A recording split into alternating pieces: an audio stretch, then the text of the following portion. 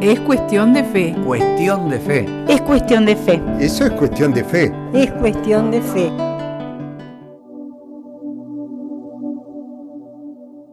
Al comenzar octubre del año 2006, Carlo se sintió enfermo. Parecía una gripe común, pero se le diagnosticó una leucemia del tipo M3, la más agresiva no había ninguna posibilidad de curación.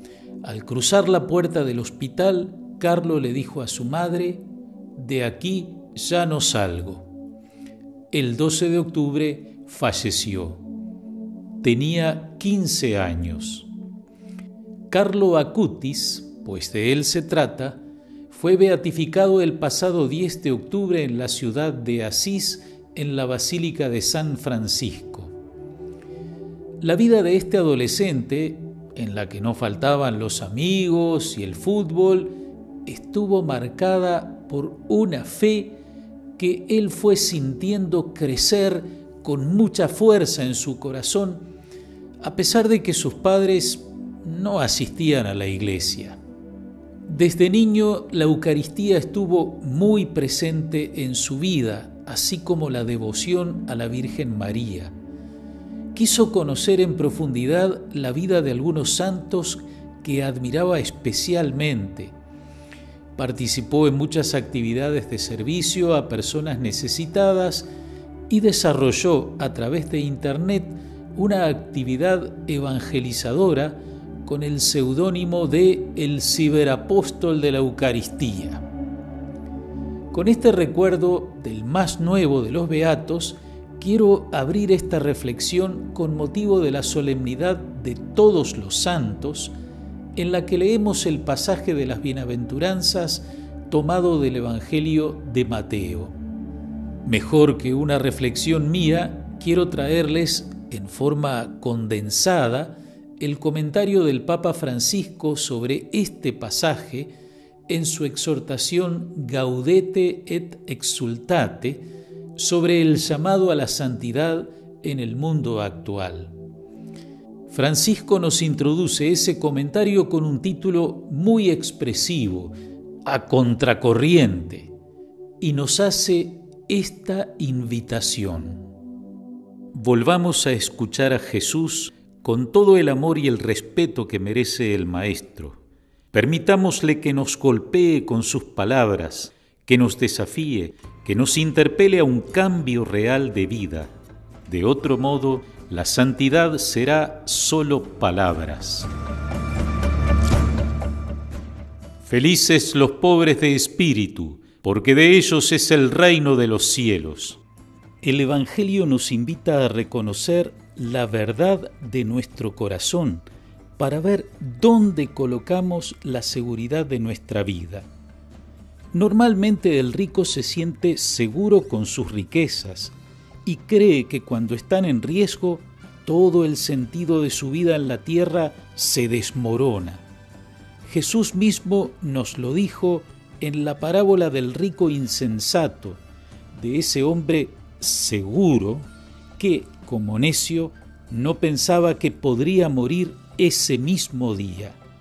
Las riquezas no te aseguran nada es más, cuando el corazón se siente rico, está tan satisfecho de sí mismo que no tiene espacio para la palabra de Dios, para amar a los hermanos, ni para gozar de las cosas más grandes de la vida. Así se priva de los mayores bienes.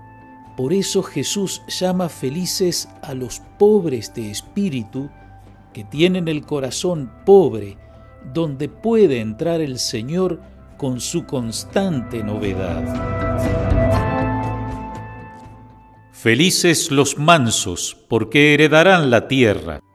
Es una expresión fuerte en este mundo que desde el inicio es un lugar de enemistad, donde se riñe por doquier, donde por todos lados hay odio, donde constantemente clasificamos a los demás por sus ideas, por sus costumbres y hasta por su forma de hablar o de vestir. En definitiva, es el reino del orgullo y de la vanidad, donde cada uno se cree con el derecho de alzarse por encima de los otros. Sin embargo, aunque parezca imposible, Jesús propone otro estilo, la mansedumbre. Es lo que él practicaba con sus propios discípulos y lo que contemplamos en su entrada a Jerusalén. Mira a tu rey que viene a ti humilde, montado en una borrica. Él dijo, Aprendan de mí, que soy manso y humilde de corazón, y encontrarán descanso para sus almas. Si vivimos tensos, engreídos ante los demás, terminamos cansados y agotados.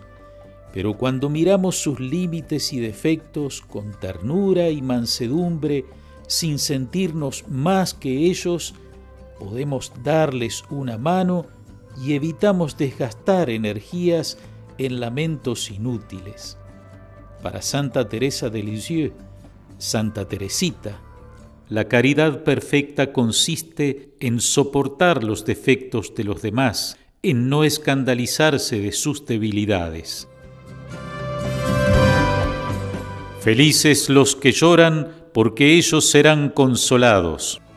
El mundo nos propone lo contrario, el entretenimiento, el disfrute, la distracción, la diversión, y nos dice que eso es lo que hace buena la vida. El mundano ignora, mira hacia otra parte cuando hay problemas de enfermedad o de dolor en la familia o a su alrededor. El mundo no quiere llorar, prefiere ignorar las situaciones dolorosas, cubrirlas, esconderlas. Se gastan muchas energías por escapar de las circunstancias donde se hace presente el sufrimiento, creyendo que es posible disimular la realidad donde nunca, nunca puede faltar la cruz. La persona que ve las cosas como son realmente se deja traspasar por el dolor y llora en su corazón. Es capaz de tocar las profundidades de la vida y de ser auténticamente feliz esa persona es consolada, pero con el consuelo de Jesús y no con el del mundo. Así puede atreverse a compartir el sufrimiento ajeno y deja de huir de las situaciones dolorosas. De ese modo encuentra que la vida tiene sentido socorriendo al otro en su dolor, comprendiendo la angustia ajena, aliviando a los demás esa persona siente que el otro es carne de su carne, no teme acercarse hasta tocar su herida, se compadece hasta experimentar que las distancias se borran. Así es posible acoger aquella exhortación de San Pablo. Lloren con los que lloran. Felices los que tienen hambre y sed de justicia, porque ellos quedarán saciados. Hambre y sed son experiencias muy intensas, porque responden a necesidades primarias y tienen que ver con el instinto de sobrevivir. Hay quienes con esa intensidad desean la justicia y la buscan con un fuerte anhelo Jesús dice que serán saciados, ya que tarde o temprano la justicia llega y nosotros podemos colaborar para que sea posible, aunque no siempre veamos los resultados de este empeño. Pero la justicia que propone Jesús no es como la que busca el mundo, tantas veces manchada por intereses mezquinos, manipulada para un lado o para otro la realidad nos muestra qué fácil es entrar en las pandillas de la corrupción, formar parte de esa política cotidiana del doy para que me des, donde todo es negocio. Y cuánta gente sufre por las injusticias, cuántos se quedan observando impotentes como los demás se turnan para repartirse la torta de la vida. Algunos desisten de luchar por la verdadera justicia y optan por subirse al carro del vencedor. Eso no tiene nada que ver con el hambre y la sed de justicia que Jesús elogia. Tal justicia empieza por hacerse realidad en la vida de cada uno, siendo justo en las propias decisiones, y luego se expresa buscando la justicia para los pobres y débiles. Es cierto que la palabra justicia puede ser sinónimo de fidelidad a la voluntad de Dios con toda nuestra vida, pero si le damos un sentido muy general, olvidamos que se manifiesta especialmente en la justicia con los desamparados. Busquen la justicia, socorran al oprimido, protejan el derecho del huérfano, defiendan a la viuda. Felices los misericordiosos, porque ellos alcanzarán misericordia. La misericordia tiene dos aspectos. Es dar, ayudar, servir a los otros y también perdonar, comprender. Mateo lo resume en una regla de oro. Todo lo que quieran que hagan los demás con ustedes, háganlo ustedes con ellos. Dar y perdonar es intentar reproducir en nuestras vidas un pequeño reflejo de la perfección de Dios que da y perdona sobreabundantemente.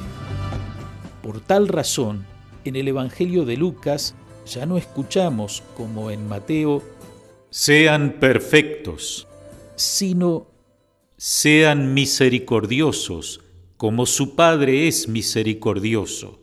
No juzguen y no serán juzgados, no condenen y no serán condenados, perdonen y serán perdonados, den y se les dará. Y luego Lucas agrega algo que no deberíamos ignorar con la medida con que midan, se les medirá a ustedes. La medida que usemos para comprender y perdonar, se aplicará a nosotros para perdonarnos. La medida que apliquemos para dar, se nos aplicará en el cielo para recompensarnos. No nos conviene olvidarlo. Jesús no dice felices los que planean venganza, sino que llama felices a aquellos que perdonan y lo hacen setenta veces siete. Es necesario pensar que todos nosotros somos un ejército de perdonados. Todos nosotros hemos sido mirados con compasión divina. Si nos acercamos sinceramente al Señor y afinamos el oído, posiblemente escucharemos algunas veces este reproche. ¿No debías tú también tener compasión de tu compañero como yo tuve compasión de ti? Felices los de corazón limpio, porque ellos verán a Dios. Esta bienaventuranza se refiere a quienes tienen un corazón sencillo, puro, sin suciedad, porque un corazón que sabe amar no deja entrar en su vida algo que atente contra ese amor, algo que lo debilite o lo ponga en riesgo. Cuando el corazón ama a Dios y al prójimo, cuando esa es su intención verdadera y no palabras vacías, entonces ese corazón es puro y puede ver a Dios. San Pablo, en medio de su himno a la caridad, recuerda que ahora vemos como en un espejo, confusamente, pero en la medida que reine de verdad el amor, nos volveremos capaces de ver. Entonces veremos cara a cara. Jesús promete que los de corazón puro verán a Dios. Felices los que trabajan por la paz, porque ellos serán llamados hijos de Dios. Los pacíficos son fuente de paz, construyen paz y amistad social. A esos que se ocupan de sembrar paz en todas partes, Jesús les hace una promesa hermosa. Ellos serán llamados hijos de Dios. Él pedía a los discípulos que cuando llegaran a un hogar dijeran, paz a esta casa. La palabra de Dios exhorta a cada creyente para que busque la paz junto con todos, porque el fruto de la justicia se siembra en la paz para quienes trabajan por la paz. Y si en alguna ocasión en nuestra comunidad tenemos dudas acerca de lo que hay que hacer, procuremos lo que favorece la paz, porque la unidad es superior al conflicto. Felices los perseguidos por causa de la justicia, porque de ellos es el reino de los cielos. Las persecuciones no son una realidad del pasado porque hoy también las sufrimos, sea de manera cruenta como tantos mártires contemporáneos o de un modo más sutil a través de calumnias y falsedades. Jesús dice que habrá felicidad cuando los calumnien de cualquier modo por mi causa. Otras veces se trata de burlas que intentan desfigurar nuestra fe y hacernos pasar como seres ridículos.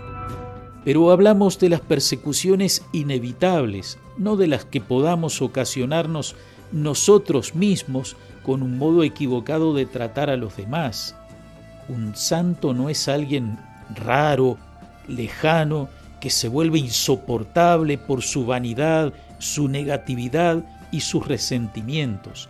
No eran así los apóstoles de Cristo.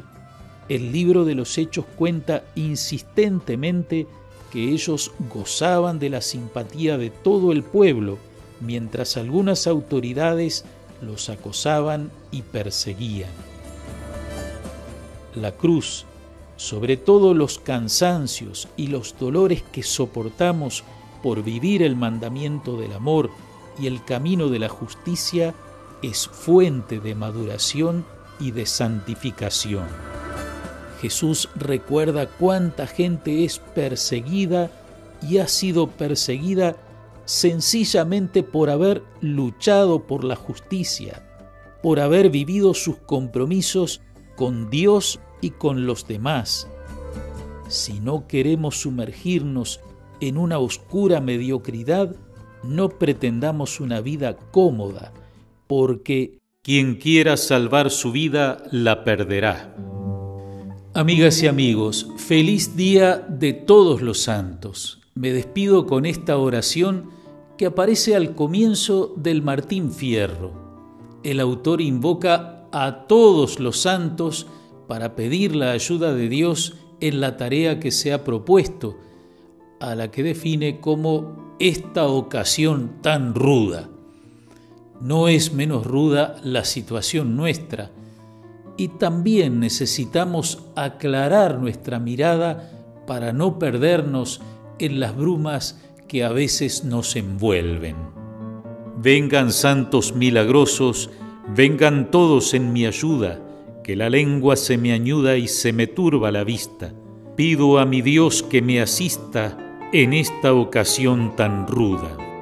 Que María, Reina de los Santos, a la que el próximo domingo celebraremos como Virgen de los 33, interceda siempre por nosotros. Gracias, amigas y amigos, por su atención. Que el Señor los bendiga y hasta la próxima semana, si Dios quiere.